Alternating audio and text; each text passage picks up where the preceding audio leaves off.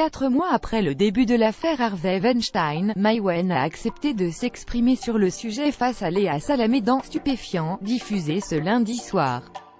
La réalisatrice, très émue, a lu un texte poignant réclame le droit pour chacun de « souffrir de ce qu'il veut ». Non-Stop People vous dit tout. Depuis le début de l'affaire Harvey Weinstein, Maïwen ne s'était pas encore exprimée sur le harcèlement UEL.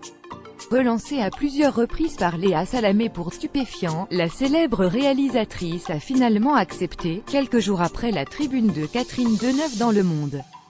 Dans un extrait de l'émission, diffusée ce lundi soir sur France 2, Maïwen réclame son droit à vivre le harcèlement UEL à sa manière, écrire un film, écrire une lettre, écrire un SMS, employer des mots et des phrases qui ne veulent pas dire la même chose pour vous que pour moi.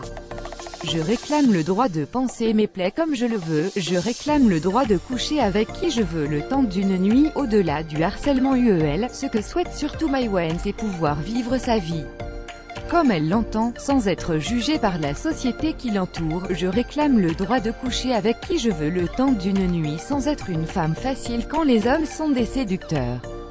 Je réclame le droit d'avoir du pouvoir dans mon travail sans faire peur aux hommes. Je réclame le droit d'être draguée avec maladresse, insistance et d'appeler cela importuné, si je le veux, lance-t-elle en réponse à la polémique qui a entouré la tribune de Catherine Deneuve.